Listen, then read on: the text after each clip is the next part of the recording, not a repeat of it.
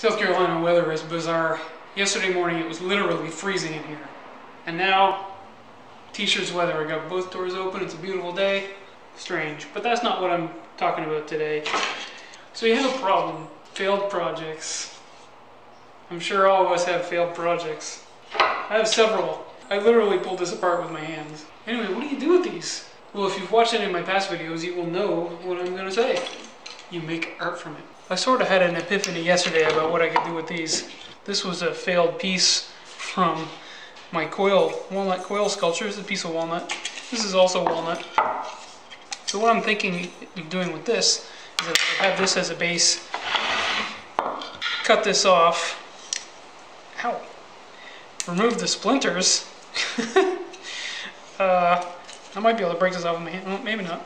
Anyway, cut this off, have it in three pieces, drill some holes in the edges, and use maybe nails? I couldn't use a dowel, it's too small for a dowel. Drill holes for nails, super glue them in so that they're kind of held apart. Just a little bit, like this, and have this on a stand or something like that or like that. Have this as a base, kind of like this. This is the bowl I made, like the first bowl I made when I first got this lathe. It's made of the same wood, so I figured this would make a good base, or something similar to this. I usually cut this into quarters. Well, this is already a quarter. Cut this into quarters. This is thick enough for dowels, so I could drill dowel holes, arrange them in some way, and hold them together with dowels so that they're suspended apart from each other, and then mount it somehow on this. This will be a stand or a base or something. I think that could work.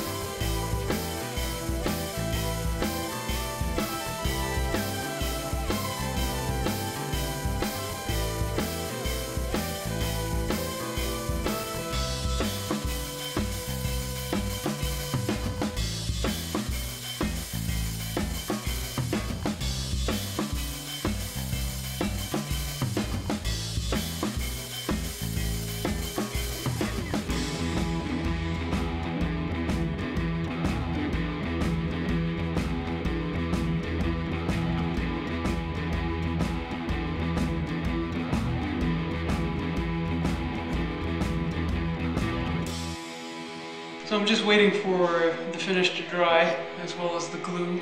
I'm gonna put some spray lacquer on here just to finish it. So I think this just goes to show you, just because something doesn't work out, doesn't mean you can't repurpose it and make it into something else.